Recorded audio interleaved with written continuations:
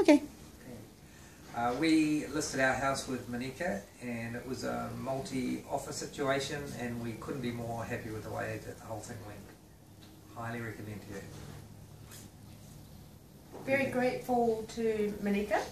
Um, for us, we've been here 14 years and to sell our house was um, a bit of a wrench and very grateful for um, how smoothly it went, um, hassle free and um, your advice was spot on and couldn't be more grateful to all your help.